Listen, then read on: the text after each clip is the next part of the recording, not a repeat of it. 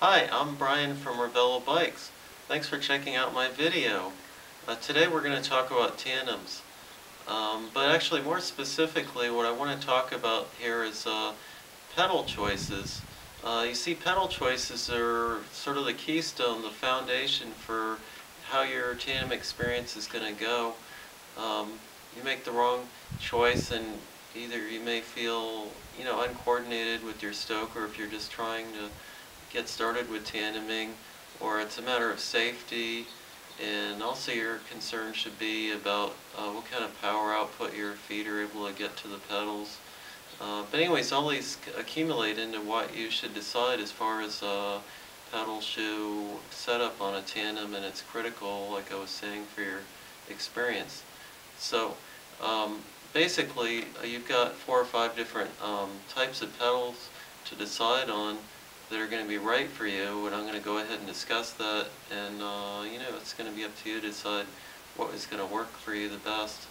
Uh, so first, okay, you've got your basic pedal. I highly recommend, I don't care if you've got a $300 tandem or a $10,000 tandem, that you're trying to get used to the tandem, and I recommend just using your basic flat pedal uh, just to help you at least get started on the tandem you know, as far as getting used to, you know, the braking and the shifting and how the thing handles, especially with the weight of the uh, stoker in the rear. Uh, so you've got the basic flat pedal, and then some people think, well, I want to get a little more power, and so uh, if I use the um, traditional toe clip, I'm going to be able to pull up, and so that's going to give you a little more power.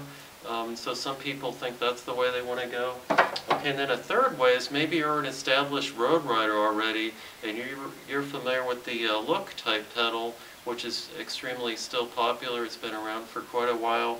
And so this is your clipping in and being able to pull up and get really great power on it. Uh, and so it has its pluses and minuses as well. Now, uh, fourth, we've got the um, SPD, um, or double-sided mountain bike style, and it has its uh, advantages as well. Uh, there's one that I don't really have here. It's called the Speed Play, which is a basically a double-sided uh, road pedal, which has his, its um, advantages and disadvantages as well. Um, but anyway, so let's go back to the uh, basic flat pedal. Okay, so you're gonna advantage on this is you there's no commitment. You're just gonna step down on your basic pedal and be able to just pedal off and there's not really too much complicated here. There's not a whole lot to tell you about it, really. Um, I guess as you're starting, you probably want to start assuming that you're sort of right-footed. You have to decide if you want your left or right foot up to start, and a lot of times you have to communicate that with your stoker. That, um, go ahead and push the pedal in an upward position uh, for which foot that you prefer. And so that's how you can start out. Now, the second pedal, this seems like a no-brainer that you'd want to actually um, go to like a toe clip uh, so you can get pulling up. You know, it's basically a flat pedal with this stirrup on it and clip, and so you're able to pull up on it. Um, actually, this is one of the most difficult on a tandem to go with, okay?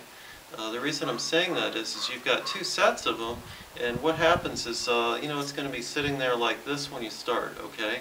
And you, so you have to tell the stoker, you're going to be starting on the back of it, and so you have to tell your stoker, you have to get started, and you have to tell your stoker, okay, uh, wait while I flip the pedal in and get my foot in, okay? And then you're going to start pedaling. Well, the stoker's got the same thing, assuming they're going with the toe clip as well. And so they have to sit there and say, honey, uh, you know, I'm trying to get my foot in, so you're going to be riding along like this, and you're going to have to sort of coast along for a while while they flip and get their foot in. So this is actually, even though you think this was kind of relatively easy, it's not too bad on a single, but when you start talking about, uh, you know, using a toe clip and strap on a tandem, uh, it's actually extremely difficult to use. Um, anyway, okay, so third of all we've got is the traditional look type pedal. Um, it's been around for quite a while, as I was saying. Um, the deal on this is you're going to get tremendous power, much more than a toe clip and strap, and it's much easier to get into as far as you're going to be able to just step down. There's no reaching down to tightening the straps. There's no, uh, the kickover process, a lot easier. This thing hangs like this. You're going to kick it and step down on it. You're probably already used to doing that on a road bike, and so it's much easier to do on a, uh, tandem. Okay, but the drawback on this isn't as much the pedal. There's really not too much wrong with that. The problem with this look pedal is that you're going to be using it with um, this type of a shoe, with this type of a cleat, okay?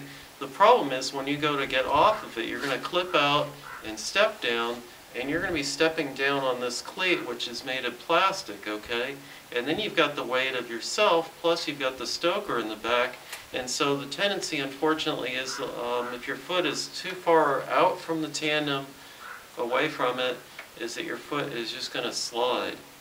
Okay, especially on a, like any type of slippery surface. Like honestly, I'll never forget the time we pulled into. We were using this setup, uh, my wife and I, and um, we pulled into a gas station. Had this extremely smooth uh, surface that had just been like buffed and stuff. And I stepped down, and sure enough, it just the plastic hit, and down we went because the plastic just didn't have any traction. Okay, so another setup is to uh, use the SPD. Okay, the advantage it has over the look is number one, it's uh, double-sided, so you don't have to kick it over all, at all whatsoever. You just step down, doesn't matter which side of it you're on, and you're going to be in there versus the look. Okay, the other advantage, and this one's the really big one, is that you're using with the uh, SPD, you're going to be using a different type of shoe. The shoe, the cleat is recessed like this, and then uh, you're going to be actually stepping down on the rubber part. And so if you pull into that gas station with a super slick surface or something, and your foot is a little too far away from the tandem, uh, generally you're just not going to slip out because you've got that rubber traction on there. So anyway, so that kind of gives you a start about um, thinking about, you know, what type of uh, pedal shoes, you know, to get going on tandeming that might be right for you.